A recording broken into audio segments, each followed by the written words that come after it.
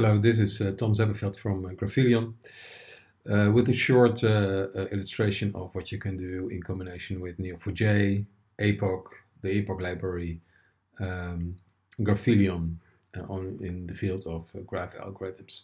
I just created a, a small example on label propagation. Well, label propagation, as is explained in many places, but also at the Neo4j website, that's an algorithm for finding communities without just using the network structure alone, so no other functions or information about the communities. Um, so we here have, um, uh, let's say, a network. Just so just a network of people that uh, or entities that know each other. Uh, some of them are named, other ones are not named. And so when I now run the, uh, the uh, apply the um, graph algorithm, the label propagation uh, algorithm, it calculates, it does about uh, a couple of thousand um, sweeps and then you have here the, um, uh, the result. So it detects automatically all the community based on this algorithm. I can make it a little bit clearer. Spread them a little bit. So this is uh, uh, this is um, uh, the result. It's a quick and dirty algorithm. Um, so how is this done in Graphileon? Okay, let's look at the functions.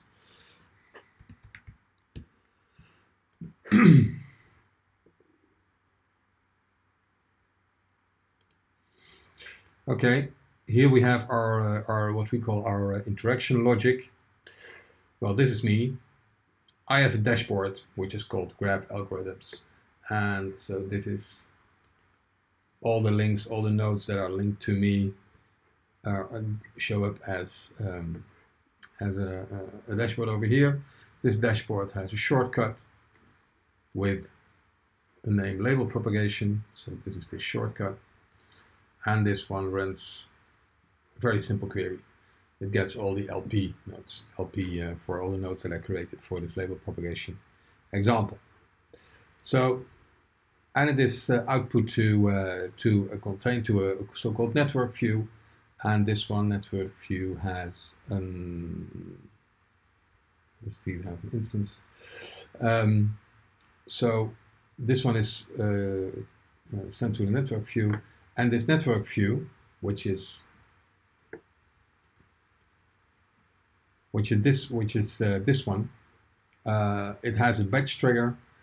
Um, it had actually two batch triggers, one over here and one over here. And the batch triggers, they fire LP community, they fire uh, another query, and these are uh, the queries that are uh, that are uh, used to calculate um, the result. Well, first I have to do some some management, so remove existing groups, and another query which I can trigger by the result of the first query. This is actually what does the trick. It's a built-in uh, algorithm in the uh, APOC library. And then last query gets the results and displays it to, uh, to the network view. So what we do here is uh, um, we use our virtual node mechanism. So in fact, I create structures that mimic uh, the structure of a node as it would have been uh, returned directly from uh, from Neo4j. Um, but everything that looks like a node is displayed at a node. We are, what I do is I I add another another uh, um, uh, property group code which I calculate based on the result of the um, of the graph algorithm. Uh, and then, of course, it should still be uh, be colored. We still need to to explain the coloring. Um, well, if you look at, uh, at our styling, so let's have here, for instance, uh, the styling.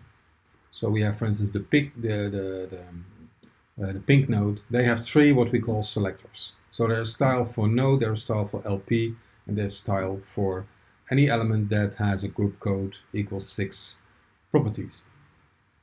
Property. So this is, and it's a cascading system. So you will see that all the group codes are in here with all their specific uh, specific colors, and that's what makes it uh, make uh, the color appear. That's how we do the styling. So you can even style uh, based on, on pure virtual nodes.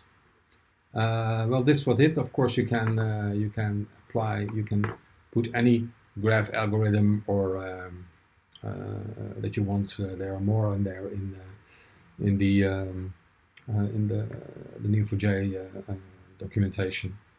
all kinds of algorithm, and we will gradually we will implement more of them and show some more examples. So stay tuned, and thank you very much. Have a nice day.